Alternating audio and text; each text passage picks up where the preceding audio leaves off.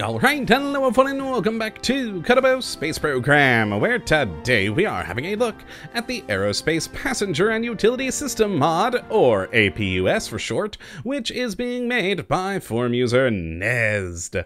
And what this glorious little piece of work looks to add into the game is a fun new shuttle system, which is based off of the 1.875 size variety of parts, which is pretty cool to have a smaller shuttle system. So let's uh, jump right on into the spaceplane hangar and have a look at what all we do get. Now let's quickly grab a Mark III cockpit, you know, the typical shuttle cockpit a lot of people use, and then just grab one of the command pods here for the APUS system, just to show off the size difference. Again, this is based off of the 1.875 meter size variety of parts, so nice and smaller. But let's hit new and then turn on Janitor's Closet, just leaving on APUS shuttles. And we'll actually start with the Swift shuttle cockpit, which is my personal favorite of the three.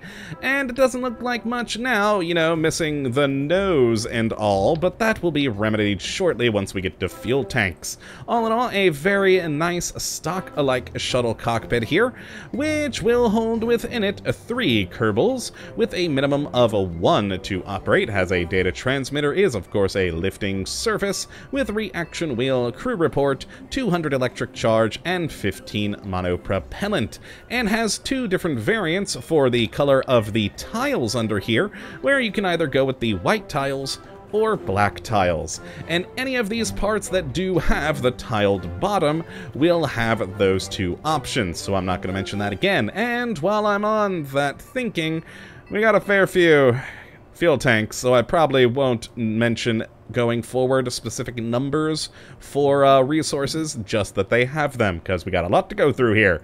Now, the next cockpit we have is the schooner one, which at first glance I thought would be a unmanned command pod, but instead it is in fact a crewed one with a capacity of five Kerbals, with a minimum of one to operate. It does have a built-in ablator, data transmitter, lifting surface reaction wheel, crew report, the electric charge, monopropellant, and all in all is a very good looking. I really, really love the whole look and design of this thing. It is pretty darn cool. I mean, come on, who wouldn't love that? And finally, if we actually pop that one off, we have the final Blizzard control module, which is an unmanned command pod here, and in fact is meant to be the tail end of the shuttle. And of course, as I mentioned, is unmanned, has a built-in control surface right here, data transmitter, reaction wheel, SAS, a whole lot of electric charge, and up to 50 monopropellant. And a fun feature of this, since it is meant to be the tail end of your ship, you may want to put an engine back there. And by default, you only have one node, as you can see. But we can right-click and go into the Cluster Nodes button here, and switch it from single to double, of course adding in, making it two nodes now. We then have the uh, double plus one, which adds three in a triangular pattern, and then we also have triple, which does the exact same thing of three in a triangular pattern. I don't know why we have the option of double plus one and triple, but hey, whichever you prefer to go with grammatically, have at it and enjoy. But overall, I do like that we can change the number of nodes here so we can add more or less engines, assuming you add no more than three. And uh, let's just chuck that off and then head down into the fuel tanks category where we've got a few. And the first ones are all monopropellant based and we have them in three size varieties of either a small, a medium, or a large version, and no matter which one of these you choose, they can of course be attached via nodes or radially, radially to the outside of the ship. And all in all, make for some good small fuel tanks, whether you're putting them inside the cargo bay or outside the ship, wherever you desire them.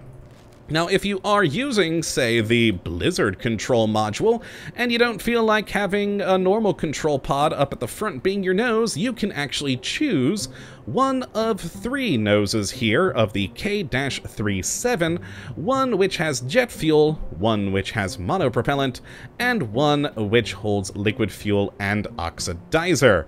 So either just liquid fuel or plus oxidizer, whichever you're wanting to go with there. All of them do look the same and also have a lovely little cargo bay in here for you to use for any of your unmanned shuttle cargo drones, which is a fun little feature so you can add in even more resources, and who doesn't love that? Now, next are the three different noses for this particular cockpit, and again, we have them in either liquid fuel, liquid fuel and oxidizer, or monopropellant. And the only difference between the three of these is the color of that stripe right there on the nose, with gray being for liquid fuel and oxidizer, the typical monopropellant orange, and then just for liquid fuel, it's just a plain white nose with no stripe whatsoever. And with that on there, it really does complete the whole command pod there, making it look very, very good. I love it. Now, after that, we have some pretty typical uh, liquid fuel storage fuel tanks. I don't know where my brain went on that one. Fuel tanks, yes. Again, in different size varieties. So this set of them is all liquid fuel, where we have either a small tank, a slightly larger tank, a slightly larger tank than that, then an even larger tank, if I can actually grab it there, excellent, and then of course, the really big tank.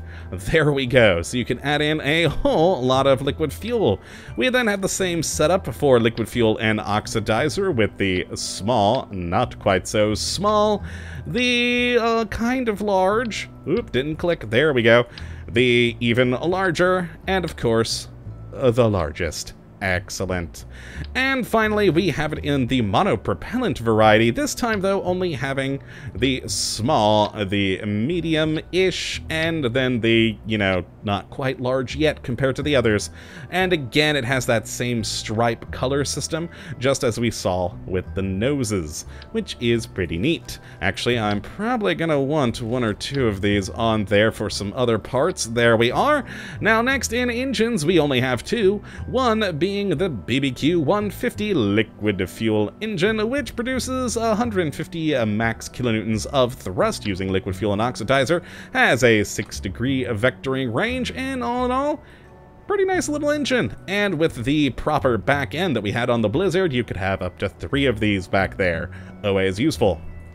And then we also do have the SRB 500 with a whopping 500 kilonewtons of thrust, and it's just a fun, big old solid rocket booster, and those are always fun to have.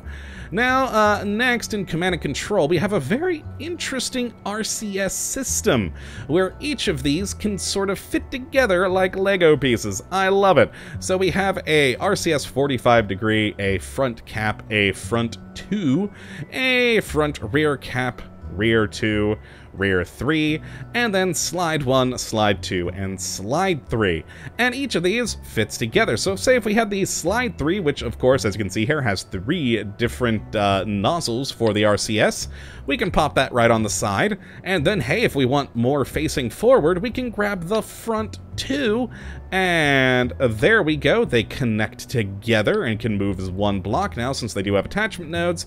And say we want an end cap with the rear two, we just need to pop that on there, and once more we can move the whole block together once we've customized it to our liking. And not all of them, of course, do have RCS on them. We do have things like the just plain old rear cap here, which just brings it to a nice end without a harsh straight line finish to the other RCS block. And even, of course, on the front one, we have just a front cap piece. Very nice, and once more, all attaching to those nodes so you can move them around. It's a pretty cool little system. I very much like this. You can make all sorts of different RCS blocks with it.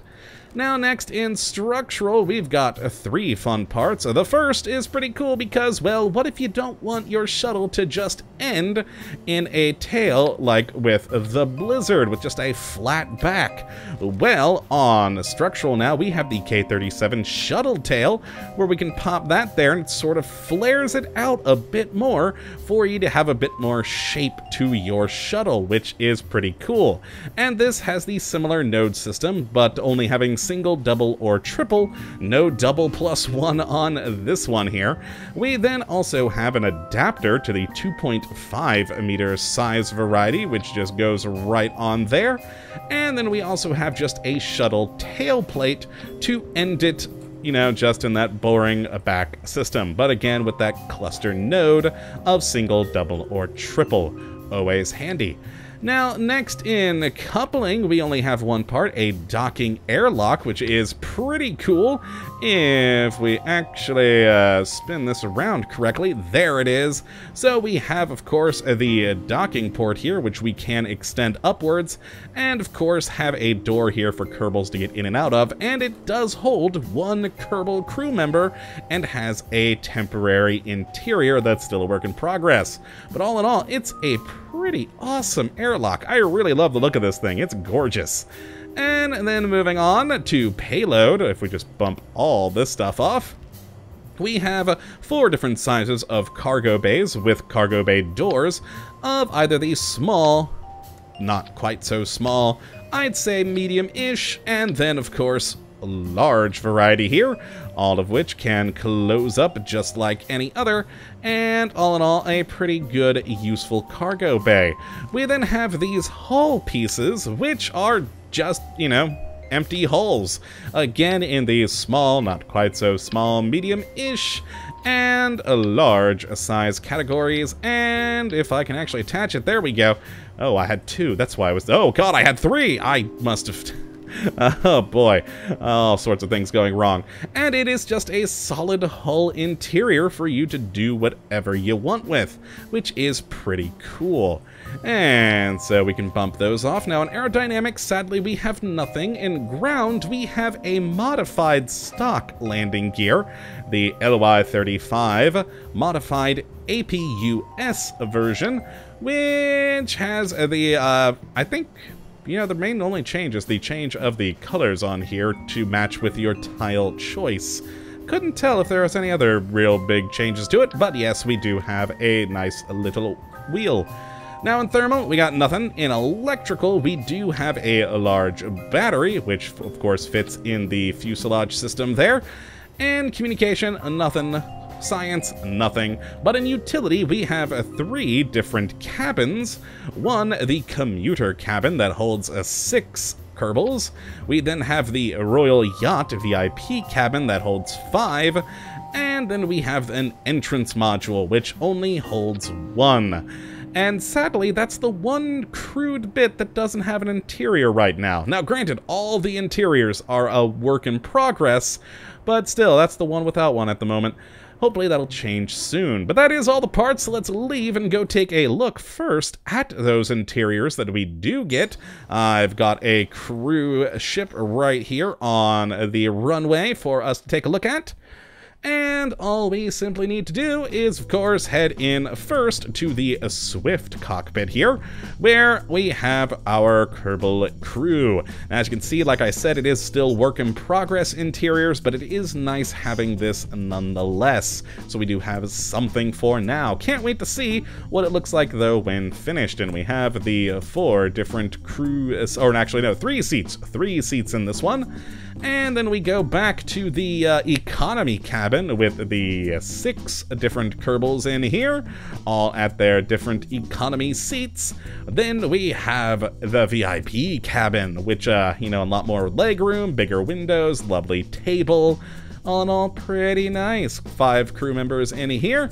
And then we have the, um, Suddenly I'm forgetting the name of the other command pod, but yes, the other cockpit module, once more work in progress, but very good look to it. Very nice with the uh, five different Kerbals, yes. And then here's the airlock, uh, which is upside down because I had to put it that way because of attachment points. But yes, a, uh, you know, nice cramped little airlock for you to enjoy. And that those are the interiors. So let's go to the tracking station, take a look at a shuttle that I built pretty quickly earlier up in orbit. No, that's the crew one. There we go.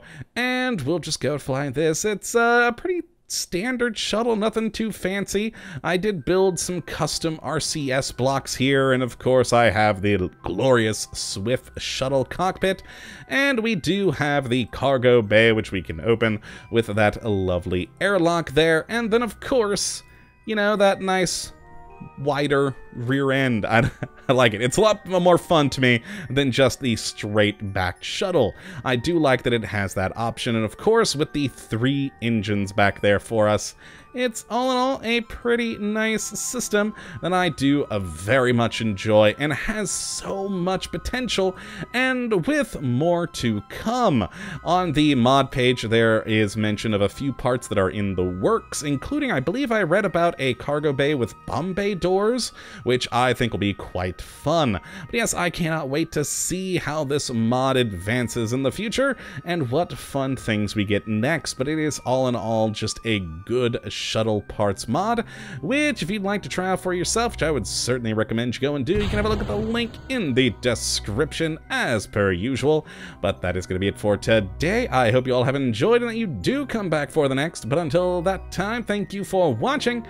And as always, have a good one.